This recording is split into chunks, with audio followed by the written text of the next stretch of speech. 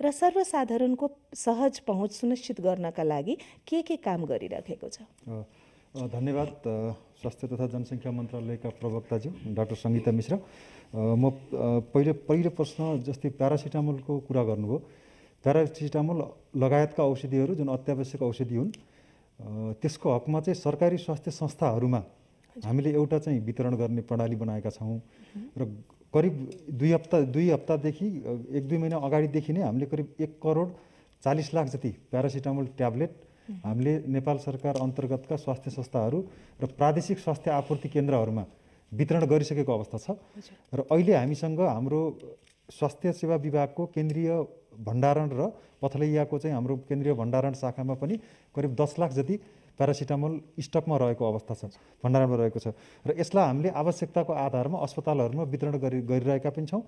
र मैले यहाँनिर के जानकारी गराउन चाहन्छु भने जब कोभिड नाइन्टिनका सङ्क्रमणका बिरामीहरू बढ्दै जाँदा प्यारासिटामोल लगायतका अत्यावश्यक औषधिहरूको माग बढ्नु स्वाभाविक हो। र माग जहाँ माग बढ्दै जान्छ त्यहाँ अभाव पनि हुन्छ स्वाभाविक हो। र तर त्यसलाई चाहिँ हामीले के गर्नुपर्ने हुन्छ भने अनुगमन गर्नुपर्ने हुन्छ। र कतिपय निजी फार्मेसीहरूमा अहिले चाहिँ प्यारासिटामोल लगायतका औषधिहरूको मूल्य बढाउने उद्देश्यले त्यसलाई चाहिँ लुकाएर लुकाएर राखेको अथवा नबेचेको हुनसक्छ त्यस्तो परिस्थिति हो भने चाहिँ गृह मन्त्रालय लगायत हाम्रा जिल्ला प्रशासन कार्यालय लगायतका संयन्त्रहरूले अनुगमन गरेर त्यसलाई छानबिन गर्नुपर्ने हुन्छ र जहाँसम्म स्वास्थ्य मन्त्रालय अन्तर्गतका संरचनाहरूको कुरा छ ठुला अस्पतालहरूलाई अहिले पनि हामीले प्यारासिटामोल आएर हामीसँग लैजानुहोस् भनेर अनुरोध गरिरहेका छौँ। उहाँहरूले हामीसँग आएर प्यारासिटामोल लान सक्नुहुन्छ। त्यसको साथै नेपाल औषधि लिमिटेडसँग पनि हामीले करिब पचास लाख प्यारासिटामोल किन्दैछौँ। त्यो बाहेक अन्य हाम्रो प्रादेशिक स्वास्थ्य केन्द्रहरू र जिल्लाका जुन हाम्रा के उहरू छन् भण्डारण केन्द्रहरू छन् तिनमा चाहिँ प्यारासिटामोल यथा यथेष्ट मात्रामा वितरण भएको छ र नेपाल सरकारले निशुल्क रूपमा उपलब्ध गराएको छ। यदि कोही पनि सर्वसाधारणलाई त्यो सम्बन्धी समस्या छ भने आफ्नो नजिकको स्वास्थ्य संस्थामा सम्पर्क गर्नुहुन मैले अनुरोध गर्न चाहन्छु। र यसै विषयमा चाहिँ हामीले भर्खरै मात्रै पनि सम्बन्धित प्रदेश स्वास्थ्य निर्देशनालयहरू अस्पतालहरू र पालिकाहरूमा निर्देशन पनि जारी गरेका छौँ। र पारासिटामोल लगायतका अत्यावश्यक औषधिहरूको अभाव हुन नदिनु र यी औषधिहरूलाई किन्नको लागि बजेटको पनि विनियोजन गरेको छ र स्वास्थ्य मन्त्रालयले प्रादेशिक स्वास्थ्य केन्द्रहरूले आफैले पनि किन्न सक्ने अवस्था छ र उहाँहरूले पनि किनिरहनु भएको अवस्था छ। डाक्टर साहब प्रश्न पारिदिनु भएकोमा धन्यवाद। र अब यो दोस्रो प्रश्न डाक्टर साहबलाई कोभिड उन्नाइस रोगको नियन्त्रण र रोकथाम समुदायमा कोरोना भाइरस सङ्क्रमणको पहिचान गर्नुपर्ने र सोही अनुसार सङ्क्रमितहरू घरमा र संस्थागत आइसोलेसनमा व्यवस्थापन गर्नुपर्ने हुन्छ। यसको लागि सर्वसुलभ बनाउँदै परीक्षण बढाउने सरकारको रणनीति पनि रहेको छ। सबै स्थानीय तहसम्म आरटिपिसिआर किट तथा एन्टिजेन आरडिटी किट उपलब्ध गराउन र कोरोना परीक्षण सहज बनाउनका लागि सरकारले कसरी व्यवस्थापन गरिरहेको छ? धन्यवाद। सर्वप्रथम त मैले यो परीक्षणको दायरा बढाउने जुन सरकारको नीति छ त्यसमा चाहिँ सम्पूर्ण आम जनताहरूलाई यदि सङ्क्रमणको शङ्का लाग्छ भने नजिकको स्वास्थ्य संस्थामा गएर परीक्षण गराउनु हुन अनुरोध गर्दछु। किनभने अहिले समुदायमा जति धेरै कोभिड नाइन्टिन सङ्क्रमण फैलिएको छ त्यो दरमा परीक्षण भएको छैन। त्यसले गर्दाखेरि केसहरू समाजमा समुदायमा फैलिरहेको अवस्था छ। त्यस कारणले नेपाल सरकारले अहिले के गरेको छ भने एन्टिजिन टेस्ट फ्री गरेको छ। नाकाहरूमा पोइन्ट अफ इन्ट्रीहरूमा सम्पूर्ण एन्टिजिन टेस्ट फ्री नै गरेको सबैलाई मैले जानकारी गराउन चाहन्छु। त्यो बाहेक नेपाल सरकारका संस्थाहरूमा चाहिँ एन्टिजिन फ्री छ र आरटिपिसिआरको मूल्य पनि घटाइएको छ आठ सय मात्रै बनाइएको छ र निजी संस्थाहरूमा पनि त्यसलाई घटाएर पन्ध्र सय मात्रै गराउन लगाइएको छ। यसको साथसाथै यसको आपूर्ति व्यवस्थालाई पनि अझ सहज बनाइएको छ र अहिले चाहिँ हामीहरूले आरटिपिसिआरको अलिकति अभाव हुन लागेको अवस्थालाई मध्यनजर गरी करिब छ लाख आरटिपिसिआर किट खरिद गर्दैछौँ र कतिपय स्वास्थ्य आपूर्ति केन्द्रहरूले उहाँहरूले आफै पनि खरिद गर्नुभएको छ। र एन्टिजिन किट करिब हामीसँग दुई लाख दस हजार जति अहिले पनि स्टकमा छ र आवश्यकता अनुसार कसैले कुनै स्वास्थ्य संस्थाले माग गरेको खण्डमा हामीहरूले त्यसलाई वितरण गरेका छौँ र वितरणको एउटा प्रणाली बनाएर गरेका छौँ र ठुला अस्पतालहरू र प्रादेशिक स्वास्थ्य केन्द्रहरू आपूर्ति केन्द्रहरूलाई उहाँहरूले आफूले पनि किनिरहेको अवस्था छ र एन्टिजेन किट र आरटिपिसिआर किटको अभावको कारणले परीक्षणमा कम हुन हामीले दिएका छैनौँ। तर सामान्य जनसमुदायहरूमा चाहिँ परीक्षण गराउन जाने जुन क्रम छ त्यो चाहिँ बरु त्यो बरु कम छ।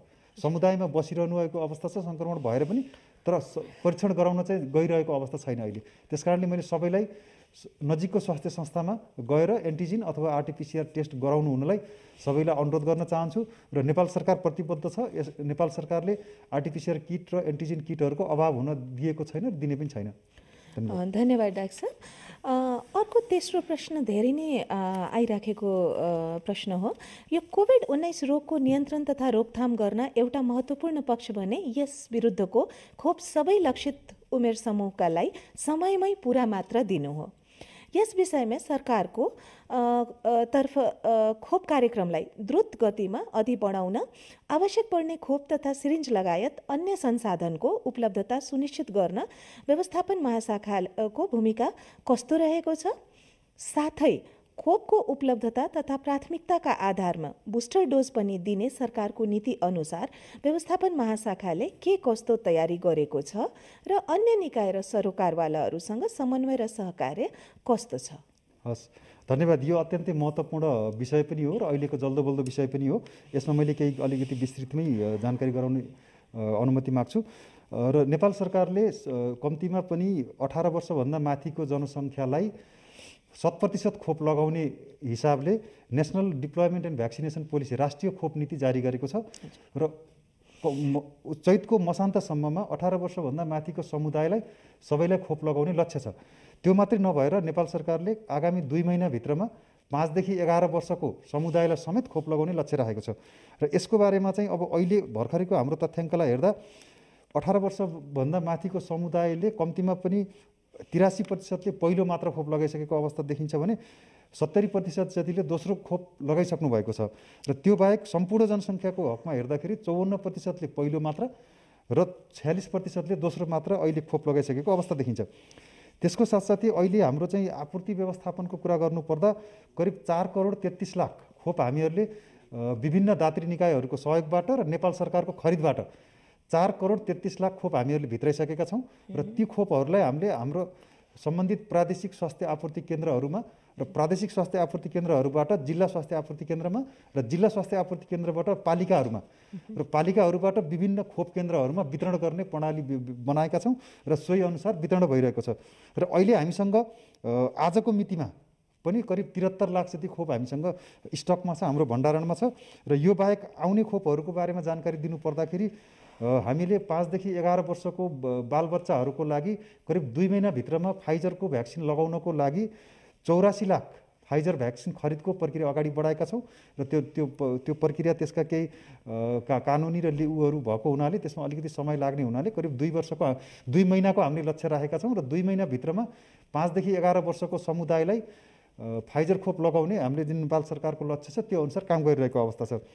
त्यो बाहेक अहिले हामीसँग आउनुपर्ने खोपहरू सिनोभ्याकको दोस्रो दोस्रो डोज सेकेन्ड डोज लगाउन सक्ने खोप पनि करिब चालिस लाख हाम्रो यो फेब्रुअरीको अन्त्यसम्ममा आउ फेब्रुअरीको पन्ध्र गत तारिकसम्ममा आउँदैछ। त्यो बाहेक हामीसँग एस्ट्राजेनिका करिब तेत्तिस तेत्तिस लाख खोपमध्ये तेह्र लाख आइसकेको छ र मोडर्नाको पनि चालिस लाखमध्ये सोह्र लाख साठी हजार जति आइसकेको छ। र अहिले बाह्रदेखि अठार वर्षको विद्यार्थीहरूलाई हामीहरूले चाहिँ मोडर्ना खोप अभियानकै रूपमा सञ्चालन गरिरहेका छौँ। र सबैले नजिकको खोप केन्द्रमा गएर खोप लगाउनु हुनको लागि मैले विशेष अनुरोध गर्न चाहन्छु र जहाँसम्म बुस्टर डोजको कुरा छ बुस्टर डोज सङ्क्रमण भएको अवस्थामा नलगाउनु होला। नेपाल सरकारले एउटा चाहिँ गाइडलाइन्स बनाएको छ तपाईँ तुरुन्तै सङ्क्रमित हुनुभएको छ भने खोप नलगाउनु होला र सङ्क्रमण भइसके पश्चात करिब दुई हप्तापछि तपाईँ नजिकको खोप केन्द्रमा गएर बुस्टर डोज लगाउन सक्नुहुनेछ र अहिले हामीले साठी वर्षभन्दा माथिकोलाई बुस्टर डोज दिने जुन एउटा चाहिँ निर्णय गरेका छौँ र साठी वर्षभन्दा माथिको र अन्य दीर्घ रोगीहरूले कोभिसिल्ड खोप जुन हामीसँग अलिक बढी मात्रामा उपलब्ध छ र त्यसलाई विश्व स्वास्थ्य सङ्गठन लगायतका विभिन्न निकायहरूले त्यसलाई राम्रो पनि प्रमाणित गरेको हुनाले हामीहरूले कोभिसिल्ड र एस्ट्राजेनिका खोप अहिले सबै खोप केन्द्रबाट साठी वर्ष माथिको समुदायलाई र दीर्घ रोगीहरूलाई गएर लगाउनको लागि मैले खास गरी अनुरोध गर्न चाहन्छु। र त्यो बाहेक अरू हामीसँग भविष्यमा बुस्टर डोज सबै समुदाय सबै जनसङ्ख्यालाई पुग्ने गरी पनि हामीहरूले योजना बनि बनाइरहेका छौँ र त्यसमा काम भइरहेको म जानकारी गराउन चाहन्छु। धन्यवाद डाक्टर साहब धेरै नै प्रश्न पारिदिनु भएकोमा र अब यो एउटा अन्तिम प्रश्न कोभिड उन्नाइस विरुद्धको यस लडाइँमा अग्रपन्थीमा खटिएर काम गर्ने धेरै स्वास्थ्यकर्मी लगायत अन्य कर्मचारीहरू पनि सङ्क्रमित भइरहनु भएको अवस्था छ। उहाँहरूको सुरक्षाका लागि पर्याप्त मात्रामा मास्क सेनिटाइजर लगायत स्वास्थ्य सुरक्षाका सामग्री अर्थात् पिपिईहरूको अभाव हुन नदिन सबै स्थानीय तहहरूसम्म पिपिईहरू सरकारको तयारी के छ र यो कामहरू कसरी भइरहेको छ? धन्यवाद। सबैभन्दा पहिला त मैले स्वास्थ्य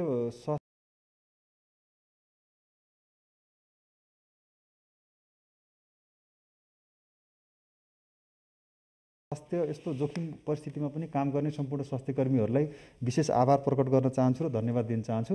र नेपाल सरकारले अहिले पनि नेपाल सरकारका अन्तर्गतका ठुला अस्पतालहरू र प्रादेशिक स्वास्थ्य आपूर्ति केन्द्रहरू मार्फत विभिन्न किसिमका मास्क ग्लोभ्स लगायतका पर्सनल प्रोटेक्टिभ वेयर्स भन्छौँ हामी पिपी भन्छौँ। यी लगायतका चाहिँ साधनहरू वितरण गरिरहेको अवस्था छ। र हामीसँग अहिले पनि करिब एक करोड सैँतिस लाख जति मास्कहरू हामीसँग स्टकमा छ। र त्यसलाई हामीले एउटा चाहिँ वितरणको प्रणाली बनाएर सम्पूर्ण प्रदेश स्वास्थ्य केन्द्रहरू त्योबाट चाहिँ फेरि अरू जिल्ला अस्पतालहरू र पालिकाहरूमा वितरण गर्न लागेका छौँ। हामीसँग अहिले पनि करिब एघार लाख जति N N ninety five mask अनि त्यसपछि सोह्र लाख जति चाहिँ ग्लोभ्सहरू लगायतका विभिन्न पर्सनल सुरक्षाका कोभिड नाइन्टिनको सङ्क्रमणबाट बचाउनको लागि प्रयोग गर्ने सुरक्षाका सा उहरू चाहिँ उहरू पिपिईहरू हामीसँग छन् र यसलाई हामीले वितरण गर्दैछौँ। र सरकारी स्वास्थ्य संस्थाहरूको अहिलेको संरचना हेर्दाखेरि हामीसँग अहिले जति केस जुन अनुपातमा ओमेक्रोनको केसहरू बढिरहेको छ त्यो अनुपातमा अस्पतालको भर्ना दर अलि कम देखिन्छ। र अहिले हाम्रो त तत्कालको तथ्या तथ्याङ्क हेर्दा करिब आठ हजार जति हामीसँग आइसोलेसन बेडहरू छन् करिब चार हजार जति एसडिओ एसडियु र करिब सत्ताइस सय जति चाहिँ आइसियु बेडहरू हामीसँग ब्याकअपमा छ। त्यो बाहेक हामीसँग करिब एक हजार जति भेन्टिलेटरहरू फङ्सनल छन् र अक्सिजनको जुन आपूर्तिको कुरा थियो योभन्दा पहिला चाहिँ अक्सिजनको निकै हाहाकार भएको थियो र त अहिले त्यो हुने अवस्था छैन।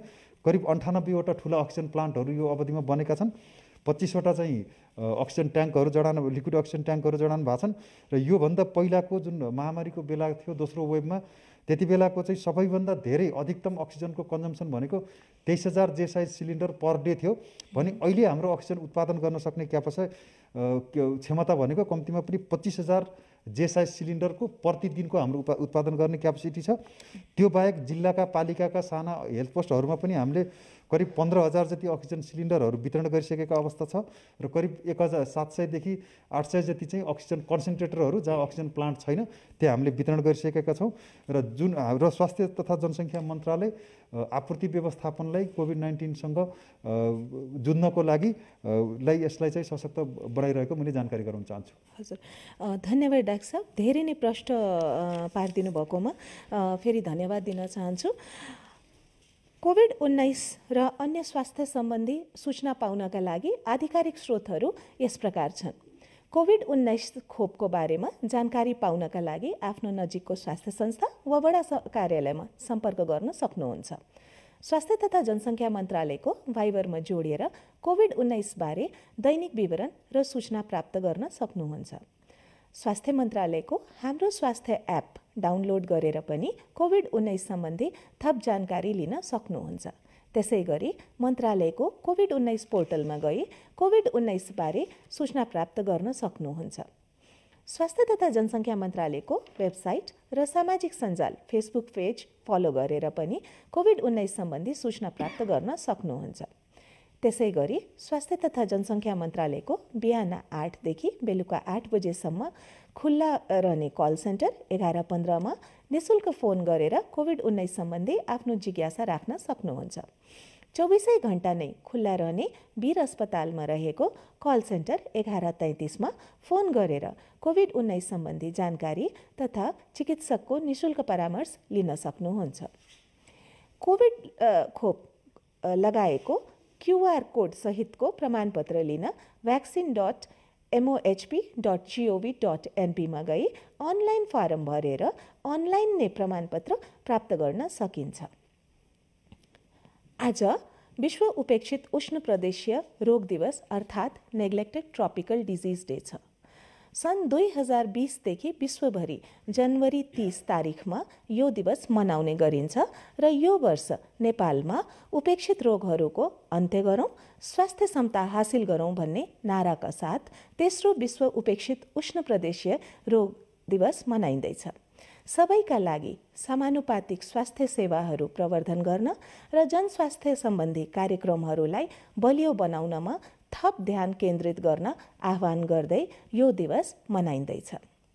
विभिन्न विषाणु किटाणु परजीवी फङ्गी तथा विषाक्तहरूबाट हुने कुष्ठरोग कालाजार हात्तीपाइले रोग डेङ्गी लगायतका उपेक्षित रोगहरूको कारण वर्षेनी हजारौँ सङ्ख्यामा हुने मृत्यु रोक्न सकिन्छ। यस्ता उपेक्षित रोगहरू सामाजिक उपेक्षा र कलङ्कसँग जोडिने गरेको र आर्थिक रूपमा पिछडिएका क्षेत्रहरूमा बढी हुने गरेको पाइन्छ। त्यसैले उपेक्षित रोगहरूको रोकथाम गर्न यो रोगहरूबाट पीडितहरूलाई मद्दत गर्न सबैको साथ सहयोग र साझेदारीको आवश्यकता रहेको सुनिश्चित गर्न सुनिश्चित गर्न पर्छ। शून्य कोष्ठ रोगको लागि हाम्रो प्रतिबद्धता आत्मसम्मानको लागि एकबद्धता भन्ने नाराका साथ आज उनासत्तरीौँ विश्व कुष्ठरोग दिवस पनि मनाइँदैछ। नेपालमा वर्षेनी लगभग तिन हजार कुष्ठरोगका नयाँ बिरामी पत्ता लाग्ने गरेका छन् र यो रोग माइकोब्याक्टेरियम लेप्रम भन् नामको किटाणुको सङ्क्रमणबाट हुने गरेको र श्वास प्रश्वासको माध्यमबाट सर्न गर्दछ। शरीरको कुनै पनि भागमा नचिलाउने तथा छुँदा थाहा नहुने दागहरू देखा परेमा वा शरीरमा गिर्खाहरू देखिने कानको लोती तथा अनुहारको छाला बाक्लो हुने हात खुट्टा झमझमाएमा हत्केला तथा पैतालामा स्पर्श शक्ति हराएमा वा नदुख्ने घाउ भएमा कुष्ठरोग हुन सक्छ। समयमै यसको निदान तथा उपचार गरेमा यो रोग निको हुन्छ। कुष्ठ रोग विरुद्धको औषधि स्वास्थ्य संस्थाहरूमा निशुल्क पाइने हुनेका हुनाले समयमै नै यसको उपचार गरौँ र अपाङ्गता हुनबाट बचौँ र बचाउँ नेपालमा प्रजातन्त्रको स्थापनाका लागि आफ्नो ज्यान सर्ग गरी अमूल्य योगदान पुर्याउने हुने वीर शहीदहरूको सम्झनामा आज माघ सोह्रका दिन शहीद दिवस मनाइँदैछ। यो अवसरमा स्वास्थ्य तथा जनसङ्ख्या मन्त्रालय सम्पूर्ण ज्ञात अज्ञात वीर वीर शहीदहरूप्रति श्रद्धासुमन व्यक्त गर्दछ। यसैका साथै आजको राष्ट्रिय प्रेस ब्रिफिङ यहीँ अन्त हुन्छ। धन्यवाद। नमस्कार।